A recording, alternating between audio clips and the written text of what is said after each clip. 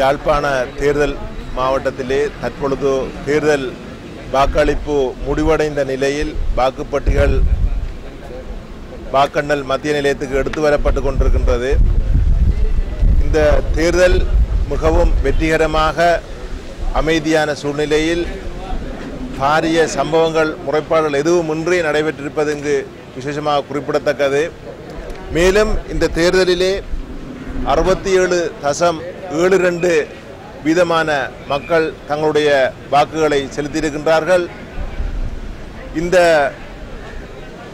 வாக்களிப்பு வீதமானது கடந்த இரண்டு தேர்தலை விட சற்று உயர்வான வாக்களிப்பு வீதமாக இருப்பது குறிப்பிடத்தக்கதுடன் இந்த நிலைமைக்கு தேர்தல் ஆணையத்தினால் வழங்கப்பட்ட அறிவுறுத்தல்களும் உங்களை போன்ற ஊடகங்களினால் வழங்கப்பட்ட விழிப்புணர்வும்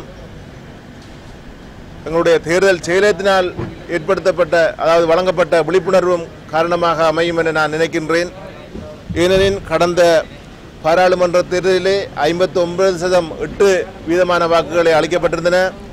கடந்த ஜனாதிபதி தேர்தலிலே அறுபத்தி ஆறு தசம் ஆறு வீதமான வாக்குகளை அளிக்கப்பட்டிருந்தன.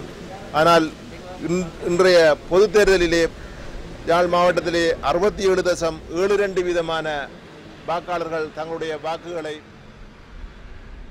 செலுத்தியிருக்கின்ற